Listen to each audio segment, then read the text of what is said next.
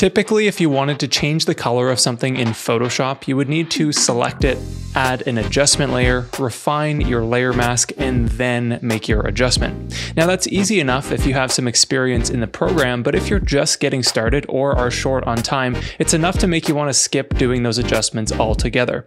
So I want to show you a time-saving trick using AI masking features in Photoshop to make selective adjustments a lot more approachable. Now these AI masking features aren't actually in the main Photoshop workspace, but instead they're in Camera Raw.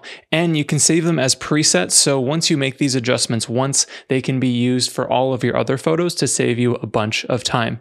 Now in this particular example, we'll work on this JPEG photo inside of Camera Raw to demonstrate these adjustments. However, if you are opening a RAW file into Photoshop, Camera Raw will open automatically for you so you can skip the step I'm about to show you now. If you're like me and you're starting inside of the main Photoshop workspace, to access Camera Raw, we'll want to go up here to Filter, and down here to camera raw filter. This opens up camera raw and the first thing that we're going to do is access our masking tool by clicking the masking icon. Since we have a person in this photo, this is where the AI masking features come into play. Camera raw will automatically recognize any people that are here and I'll click on the person that I want to edit. If you already use Lightroom, some of this is going to look very similar. Now let's say I want to go ahead and edit her clothes, add some skin retouching adjustments, as well as enhance her eyes.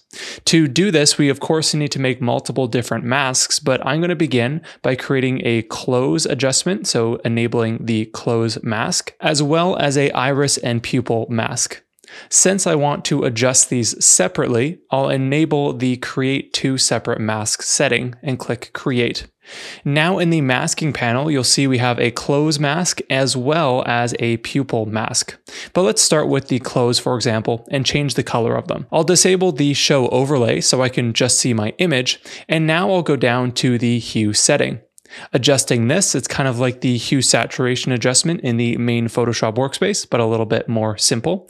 We can just go and refine the hue of the selected area to change the color of her sweater super easily. Now there are some areas here that are missing this color adjustment, but we can easily fix this by adding a brush adjustment by clicking add, brush, and then zooming into the photo we can simply go and paint over the areas we want to add that color back into. Now, when you're working on individual photos, this is fine to do. However, when you want to go and create a preset for these AI masking adjustments, that's when you will not want to do these additional touch-ups, as you'll see why in just a moment. For now, I'll just do this quick little touch-up, and then we'll move on to the eyes. Looking at this before and after, we have quickly changed the color of our subject shirt without having to do any selections. So let's go and click on the iris and pupil mask now.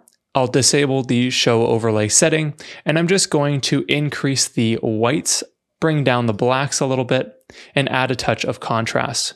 This is an easy way to make your subject's eyes pop, especially any natural highlights that are in their eyes. Now, before we go and save our presets for these different masks, we're going to create a retouching mask that we'll be able to reuse in future photos. To do this, we need to create a new mask, this time clicking the Create New Mask button since we've already created some masks previously.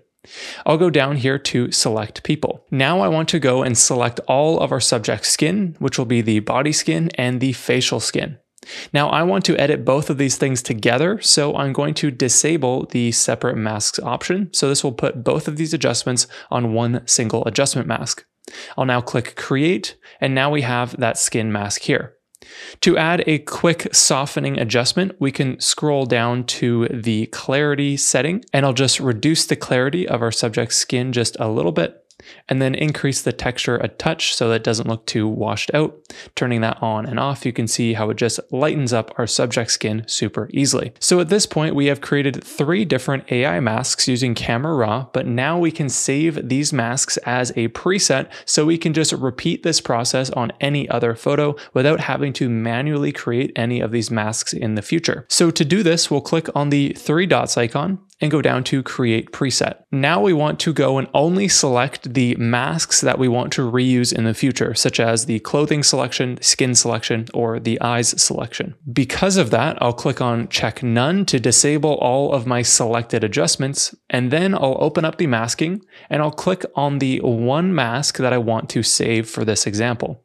In this case, I'll choose the mask one, which is the skin mask, and I'll rename this to skin softening. Making sure that only that one adjustment is selected, I'll click OK. Now you would go and repeat this process for all of your other masks individually. However, I'm just going to create one more preset by clicking on the three dots, going to create preset, and only enabling the clothing mask because that is the one that we added some additional adjustments to, which can cause some problems as I'll explain in a moment. I'll rename this to clothing mask and click OK. Now let's say I've cleared all of these masks. I'll click delete all masks and now we are back to our original photo before we did any masking adjustments in Camera Raw. To add these new AI presets, we can just click on our preset setting and then within my user presets, I have my clothing mask, which is the one I just created, as well as the skin softening. I'll go ahead and add the clothing mask for now, and then I'll add the skin softening. Going back to the masking panel, you'll now see that we have both of these masks created, and if I click on them, we can see all of the adjustments related to that specific mask. Now this also will include any adjustments that you created before you saved your preset, such as with the clothes adjustment here, you can see that I added an additional brush adjustment to this area of the photo. Now this works fine in this particular photo, however, when you go and reuse this preset in another image, this brush adjustment is going to be in a completely wrong area. So that's why you don't want to make any additional adjustments to your AI mask, so that way it's the most versatile across all of your images. But anyways, now with those masks complete, we can click OK. The camera raw adjustments will now be applied onto our image. And because I have a smart object as my image layer, which you can enable by just right clicking and going to convert to smart object, that is why I have smart filters so I can see the camera raw filter here. I can always double click on the words camera raw filter to reaccess that later on. Now to prove the point that these adjustments can be used in future images, let's go into a second example. But before we get there, if you want help remembering all of the steps that we talk about here, I created a free lesson cheat sheet for this tutorial that you can access down in the description below. It's totally free. And again, the link is below. Anyways, moving into example number two here, I'll click on my image layer and then go up to filter, camera, raw filter. Now in our previous example, we created an eye enhancement adjustment that I just went and saved as a preset off screen, but now we can access this once again using the same methods as before.